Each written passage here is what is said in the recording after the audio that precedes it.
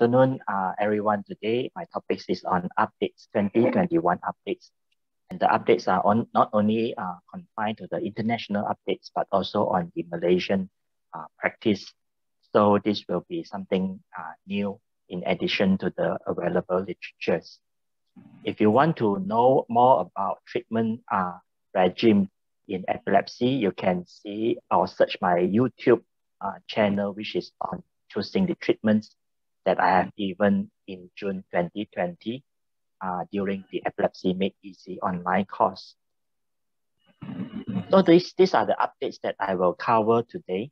The first two are on the treatment in status epilepticus, uh, different from our current regime in most uh, emergency that you are using. And the three, four, and five are on the old drugs, especially carbamazepine, sodium valproate, which is Epilim, and phenytoin. And the last one is on epilepsy Is that? Yeah. So the first update is on intramuscular midazolam. And uh, as you probably uh, practice in most emergency is the use of intravenous diazepam. And intravenous diazepam normally take uh, a while to prepare the ampoules and uh, prepare the IV line, and then only you can give the intravenous diazepam. And in some other countries, there were intravenous lorazepam, uh, especially uh, those in US or UK, but it's not available in Malaysia. But the new updates on the treatment in the first line uh, therapy during status epilepticus is intramuscular midazolam, which can be given even in the pre-hospital state. When the ambulance arrive and the patient still have seizure, uh, the uh, paramedics just have to withdraw the midazolam and give it intramuscularly. Uh, some uh, of the centers also have intranasal or buccal midazolam, which doesn't require an intravenous line. And this will make the administrations of the first dose faster than usual. As you can see in this RAMPART uh, trial, what we can see here is that midazolam was given faster uh, with, uh, with a shorter intervals uh, as compared to the lorazepam, as we can uh, I've highlight in the box here. And because of the faster administrations, the efficacy between midazolam and lorazepam are equally good. And it can be uh, utilized for those without IV line or in the ambulance or in the pre-hospital state. So the second update is on second line. Most of us use uh, phenytoin as a second line during the status epilepticus treatment. However, there were uh, new comparative study between intravenous levetiracetam, which is Keppra, IV valproate, which is Epilim, and as well as fosphenytoin. Uh, the reason why they use fosphenytoin in this study is because fosphenytoin can be given uh, as fast as 20 milligram per kilo uh, at, at the dose of 20 milligram per kg at 10 minutes durations. Whereas phenytoin, we can only be given uh, within 25 to 30 minutes slow infusions. And what we can see here is that the efficacy between uh, Keppra, Epilim, and fosphenytoin are equally good in the overlapping of these uh, those uh, on the on the charts with the area under the curve. There are two key uh, informations we learn from this study is the dose firstly, and you can see that the dose for Keppra as well as the dose for epilim is very high. Although in uh, Malaysia, we don't normally practice at such a high dose, but nowadays the dose given for patients is higher than previously. For example, in epilim, uh, some of us practice giving 20 milligram per kg uh, bolus rather than 10 milligram per kg bolus as we used in the past. The second key message as we learn from this uh, study is the time of administrations. And you can see that if the medication was given within uh, 10 minutes duration. And the faster the medication is given, we expect the higher or the better the efficacy. The third update is on HLA-B1502 screening.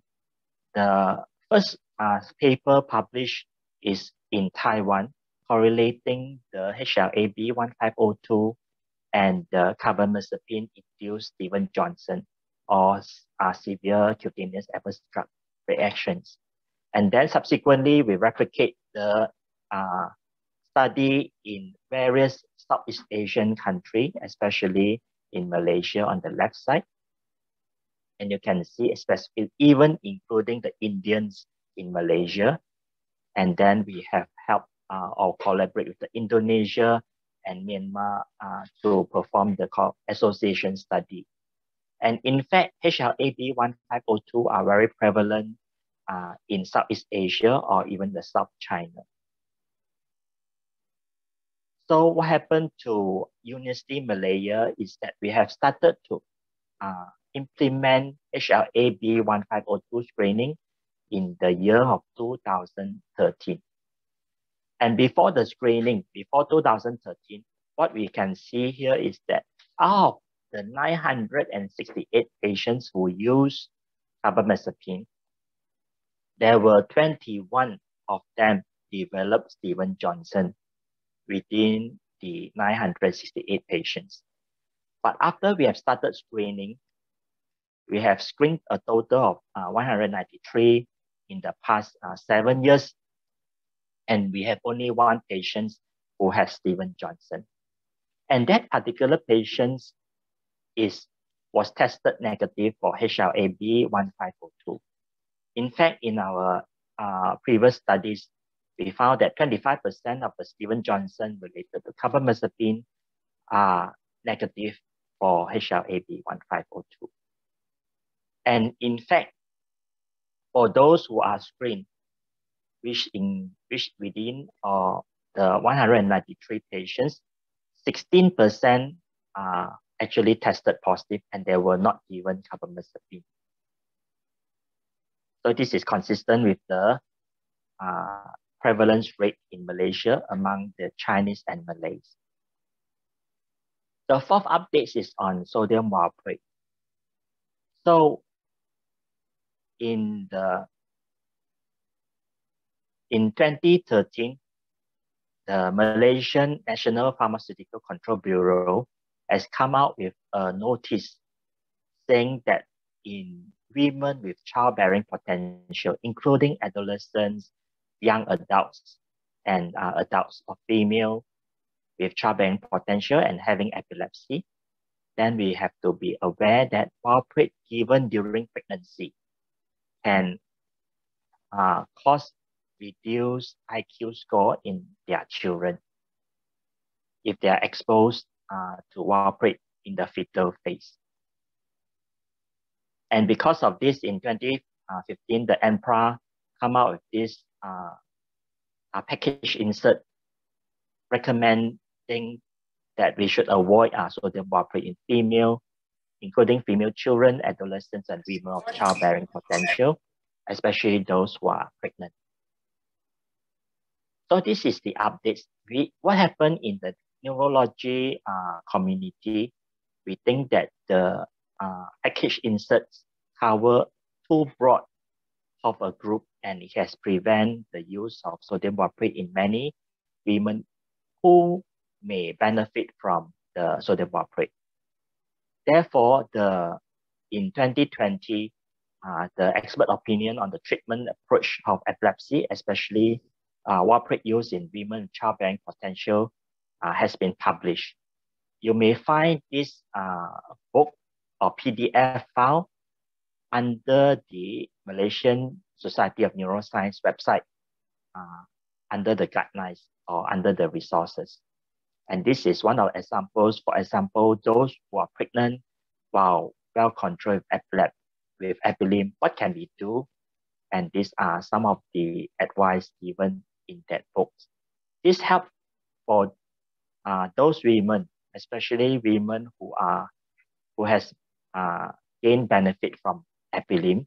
This helps to guide the physicians and doctors on whether to use and how to counsel them uh, on using sodium valproate. So it doesn't mean that sodium valproate are not or totally contraindicated in women, but it can still be used in certain dose and certain group of patients after proper counseling. The fifth uh, update is this daily dosing. As you can see in the chart that in the past, only phenytoin can be used on uh, daily dosing. Most other drugs like carbamazepine, lamotrigine, levetiracetam, topiramate, they are all BD dosing. Or sometimes uh, for carbamazepine, uh, we need TDS dosing. So there has been quite a while without uh, any drugs on daily dosing until we have zonisamide. One of the reason is because the half-life of zonisamide is very long, which is up to the 63 to 69 hours. So we can give uh, zonisamide on a daily uh, dosing. And then subsequently, after about six, seven years later, we have perampanel, which is also on daily dosing. And daily dosing has its own advantage, which I'll explain later on, uh, and why we should consider uh, anti-epileptic drugs on a daily uh, dosing regime. The last updates I would like to talk about is on epilepsy surgery. So epilepsy uh, treatments are not only pharmacological by using uh, various anti-epileptic drugs. We can consider epilepsy surgery if it can identify the focal lesion in the brain that causing the seizure.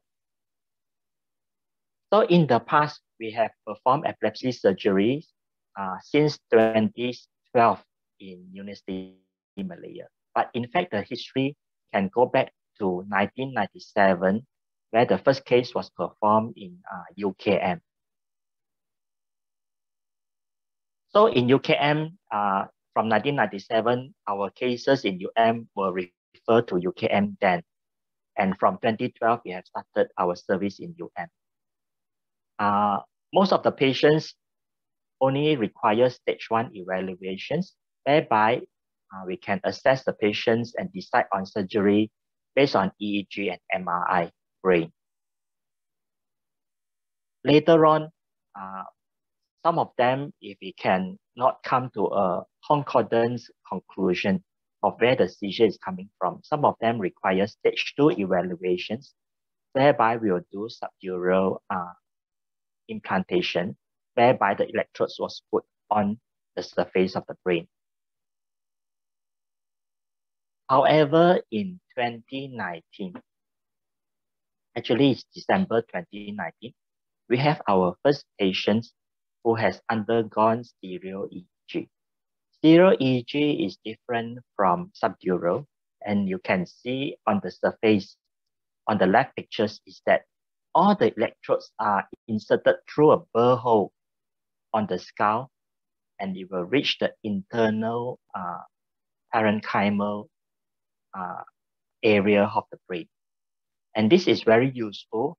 For example, if we have a bilateral hypothesis where we are not sure whether, let's say, in the left-sided uh, epilepsy, and we are uncertain whether the right-sided may be the epileptogenic zone then this implantation can cover both left and the right hemisphere.